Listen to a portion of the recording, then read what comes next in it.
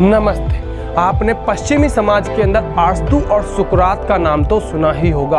आरस्तु और सुकरात पूरे पश्चिम सभ्यता के सबसे ज्ञानी और बड़े दार्शनिक थे। पर क्या आप जानते हो कि इनकी महिलाओं के प्रति क्या सोच थी?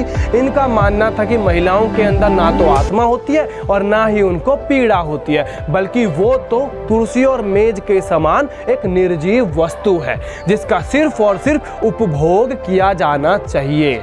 आरस्तु और सुकरात को पूरे पश्चिमी समाज के अंदर सबसे बड़ा और महान दार्शनिकों में गिना जाता है। सोचो जिनके इतने बड़े ज्ञानी लोगों की ये सोच थी तो सोचो पश्चिमी समाज आज से हज़ारों साल पहले कैसा रहा होगा?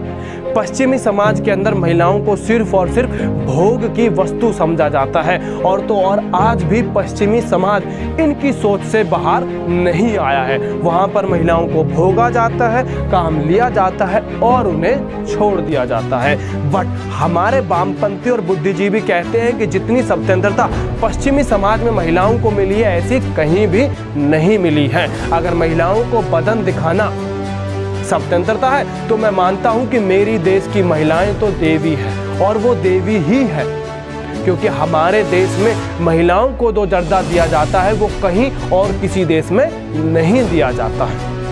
हमारे देश में महिलाओं को देवी समझा जाता है, देवी मीन्स भगवान का दर्जा दिया जाता है। आपको पता है कि हमारे भगवान, हमारे ईश्वर कृष्ण जी को भी देव की नंदन बोला जाता था, और तो और पांडवों को भी कुंती पुत्र के नाम से जाना जाता था। वो तो भला हो इन मुगलों का और इन अंग्रेज़ों का, जिन्होंने पूरे का पूरा हमारा इतिहास चेंज कर दिया और हमको स्त्रियों के विरोध दिखा दिया गया। जबकि पूरे का पूरा पश्चिमी समाज सदा से स्त्रियों के विरोध रहा है। और वो स्त्रियों को ना तो कोई अधिकार देते थे और ना आज भी उन्हें कोई अधिकार दिया गया है। वो तो भला हो इंडस्ट्रियलाइजेशन का कैपिटलाइजेशन का कि जो पश्चिमी सभ्यता के अंदर आया और महिलाओं को कुछ अधिकार मिले।